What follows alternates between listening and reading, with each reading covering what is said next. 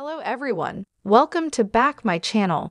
I hope everyone is having a wonderful day. Before starting the video, please go ahead and hit the subscribe button. At Society, Chelsea tells Billy the teachers at Connor's school updated her on what's been going on with him. The news is worse than she thought. He's struggling, Billy, and I don't know how to help him. He can't pay attention in class, and they think it could be anxiety or a processing disorder. He's not eating and is washing his hands all the time.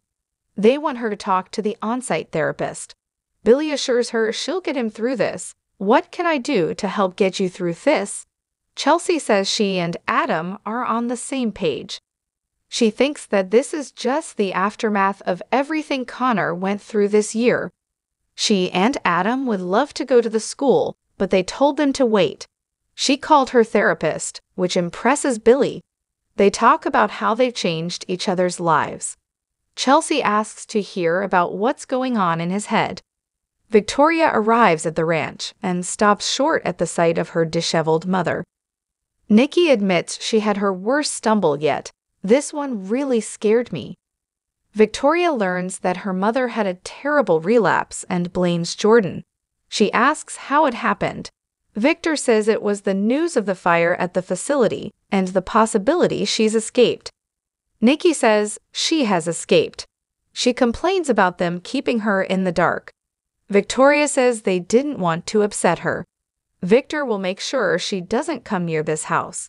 Nikki repeats that she has escaped. I have proof that she is alive, and she is still very much out for revenge. Nikki reveals she's been getting those phone calls again. This morning, the call had the same song playing. She knows Jordan is behind it. Victor and Victoria urge her not to let Jordan push her buttons. Jordan is broke and on the run, and Nikki is safe there. She's the vulnerable one, not you. Nikki needs to get some rest. She rises to leave the room, but first, she has a confession to make. In Tucker's suite, Audra tells him he's obsessed with Ashley. He told her he chose her and then had the nerve to pull this.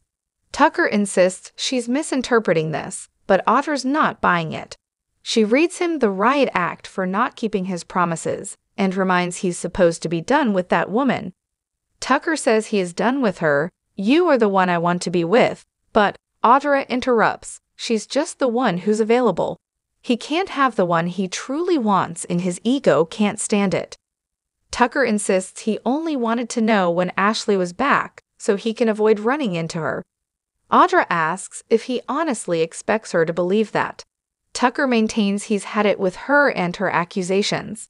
If he sees her coming the other way, he's crossing the street. I don't want her getting in the way of what you and I have. At the Abbott mansion, Ashley demands to know why Jack won a family meeting and why he and Diane are looking at each other. Is this an intervention? She wonders if Traci told them that Tucker bribed the waiter in Paris. Jack says there's more to the story. Traci spoke to the rest of the wait staff at the cafe. None of them could recall Tucker being physically violent. Ashley fumes that he bought off the whole staff. He is unbelievable. Ashley is ranting about them buying into Tucker's BS when Traci comes in. Ashley confronts her about going behind her back. Traci didn't want to keep this from Ashley, but she thought it would be better for her to hear it there, surrounded by family. Ashley thinks this just proves the lengths that Tucker will go to gaslight her. Jack and the others exchange uncertain glances. Ashley rages at them to stop. You guys know what he's capable of. Why are you doubting me? Ashley contends that it wouldn't have been hard for Tucker to pay off the whole wait staff. Traci informs her that she offered them even more money. It was awful, but she offered them twice as much if they just admitted they'd been bribed. Not one person took it because they didn't want to lie. Ashley figures he threatened them, but Traci found them believable and not nervous or intimidated. Ashley, on the other hand, showed doubt when they spoke to the waiter. Ashley insists she has no doubts. I can't believe you're taking Tucker's side. I can't believe this is happening. She's being let down by her family in the most painful way. In Tucker's suite, Audra informs him that they are bound to run into his ex plenty. Every day will be another reminder. Every time it happens, she'll see the love slash hate written all over his face. She'll constantly be questioning where his heart lies. Tucker jokes that they could buy their own restaurant to eat in. Audra can see how he'd be sick of Ashley's accusations. She can't help but wonder what she found out in Paris. Maybe the truth will shut down Ashley for good.